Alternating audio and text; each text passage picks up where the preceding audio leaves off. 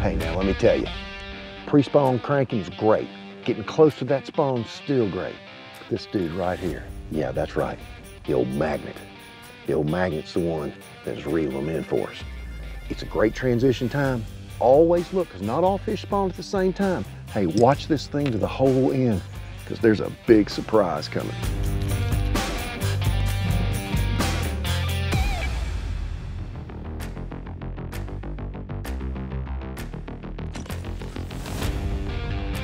What a good day to be on the lake.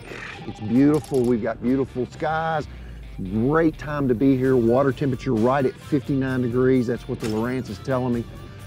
So we're gonna have fish in all stages. Got a moon that's starting to show up. So we've got fish that are really wanting to go shallow, but I think we're gonna be able to do multiple things today and do multiple techniques with some pretty cool new stuff that uh, is available at Tackle Warehouse, some Tackle Warehouse exclusives too. So, um, man, I'm excited to be here and get on this lake and do some fishing and see what we can do on the vlog today. So, got a big old Canadian goose out here yelling at me. Uh, there were pelicans on the lake here a minute ago. I think we've got a lot of activity here. I think it's gonna be good.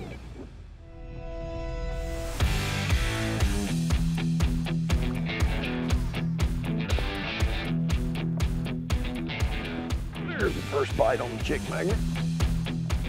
Loaded it. Hard pulling. Oh, that's a good one, guys. That is a good one. Just ran right at me. Get ready to see. Get ready to see one hook. Oh, goodness gracious. Just barely ran out there and got it. Look at that fatty right there. Pre-spawn. That's what a plug is good for this time of year. Covering a lot of water. That one just ran up and nipped it. What a way to get my morning started. Look at this one. Come here, sugar. Come here, sugar. Just barely hooked. She's not going. Don't do it. Don't, don't, don't.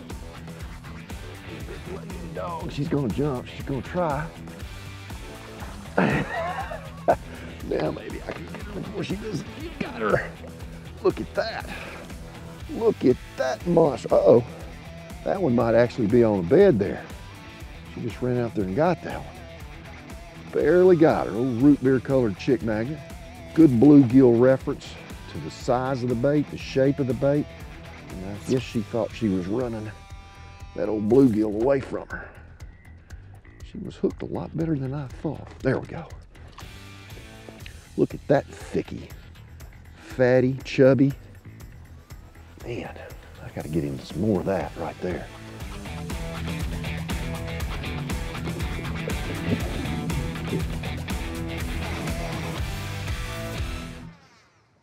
You know, the chick magnet is a new bait. And it's always interesting to me when I get to play with a new bait or really spend some time with it, characteristics. It's a flat-sided bait.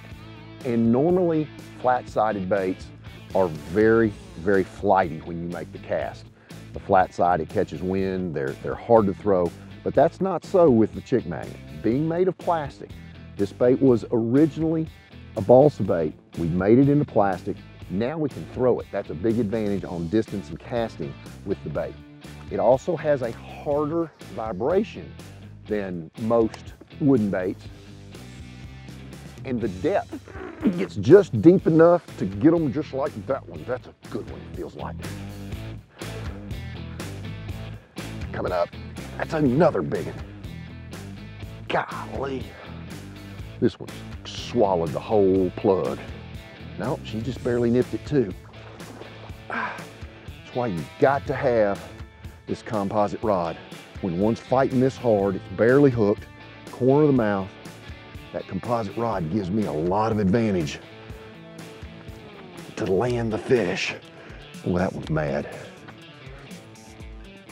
Shaking that old head. Just barely nipped it. I mean, pulling.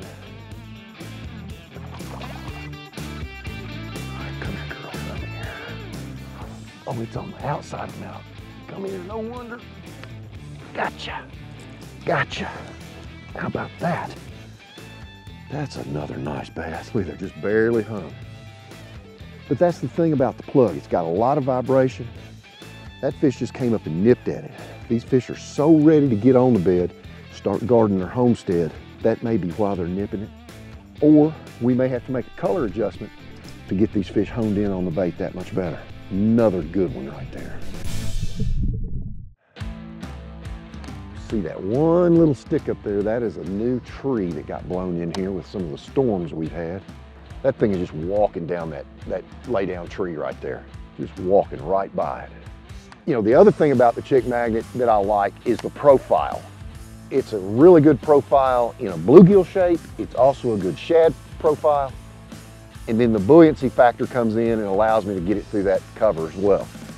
Here's one, and I have thrown it through that tip of that tree 10 times.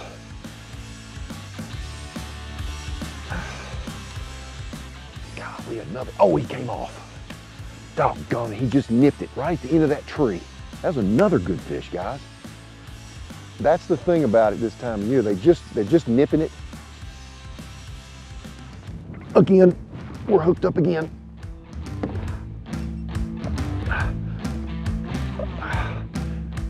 Another fish right in the end of that. And he, he's just barely hooked. Gonna have to make an adjustment on color. We're gonna make an adjustment on a hook. That's one thing as anglers we are really bad about. We catch a fish on a given piece of cover and we go on. Take those power poles, stop, take your trolling motor, stop, make multiple casts. Bass tend to want to be with other bass. And we had two other opportunities. Unfortunately, didn't work out. They didn't get them in a boat, but we had got two other bites on the end of that tree after that plug had been through there 10, 15, 20 times. I recall one tournament at West Point that I made 50 casts, at least 50 to one tree, and I caught a four pounder. I sat down, ate a sandwich, made another 50 casts with that 1.5, and caught another four pounder and ended up with a top 20 finish just because I stayed and made that cast. Important to make multiple presentations anytime you're successful.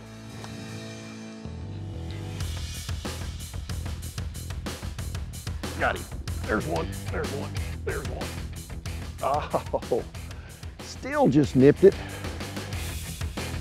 Go, go. I mean, pulling like crazy. This dude is trucking.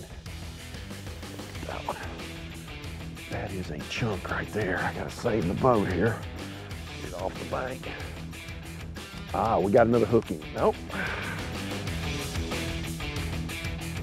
Oh, come hither. Yeah, there we go. Now we got control of you. That's what. Gotcha. Gotcha, gotcha. Now, look what the way this fish is actually hooked. Just came up and slapped it on the outside. I made a change. I went and changed these hooks to two aught, or excuse me, number two short shank gamakatsu. And I would have never caught that fish without making that little adjustment. What a good one. Look how thick that fish is. I don't think these fish are ready to go.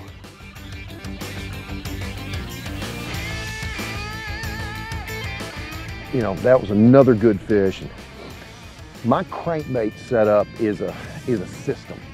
And I found that this works really well for me. What happens is we become better anglers. We get really in tune to what that crankbait's doing. And if that crankbait does something out of kilter, what do we do? We lean into it. So I've gone to composite rods or very slow action graphite rods so that when that crankbait is transmitting that down to me, my hand, which is educated, it's had a lot of time throwing a plug, that fish gets the plug and I don't feel it because of the slow transmission of the composite rod. So that allows that fish to get the bait a hint better. Today they're just nipping at it. So with a stiffer graphite rod, he comes up there, he nips it, I set the hook, I missed most of them. I'm catching them now um, better because we changed the hooks on the crankbait as well. So I want a rod that has a moderate bend like that, moderate tip, and actually bends all the way down here to the handle. You can see this rod actually flexes down here. That parabolic action when I hook a bait with a plug turns into a big C. And it allows me to pull that fish without moving that plug out of his mouth.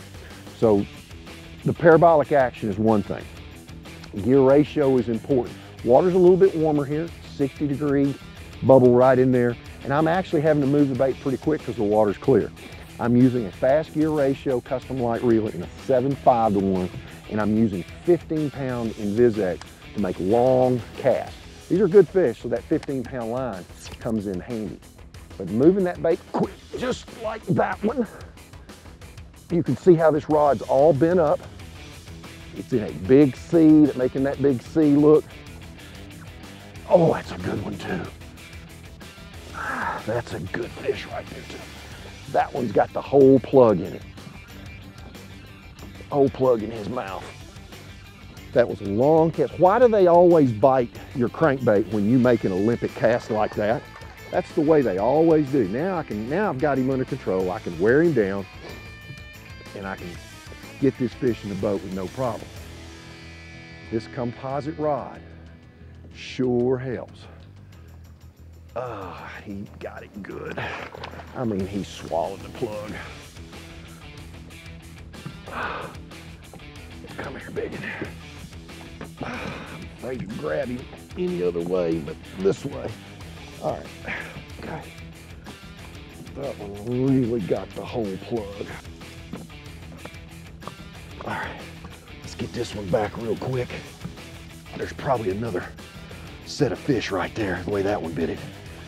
Probably another bass right there. Look at that group right there. That is a good group of fish. Picked up a deeper diving plug to try to get to those. Where'd my fish go? There they are, right there. These fish are moving away from us out there in 18 to 20. But that's the thing that the active target is allowing me to do. It. It's allowing me to get a shot at, at least get a shot at those fish. Where I would have never known they were out there, now at least I'm aware they're out there.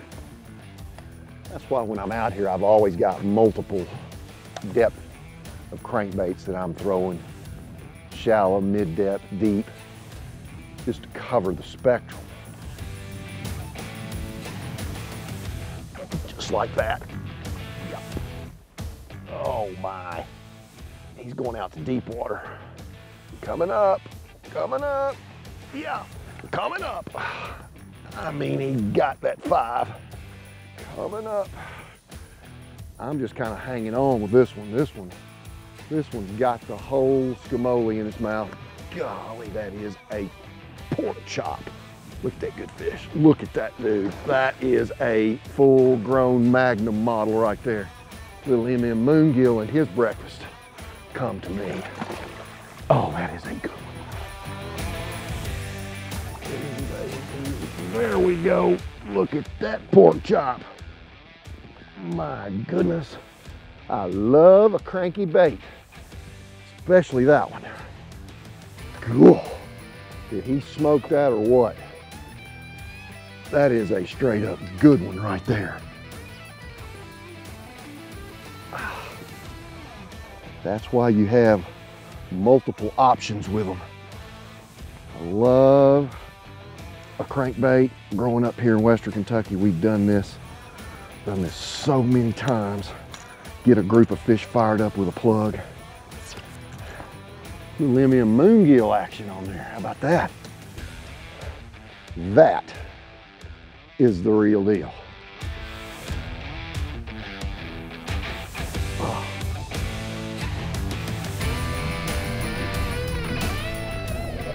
There. You love it when your plug gets scarred up like that from a great big one. Hey, if you've learned something or you like this vlog, give us a like and be sure to enter the gear giveaway where you can get some really cool Lew's and Strike King gear. Now I'll tell you what, Hill MM and Gill, that's a good one.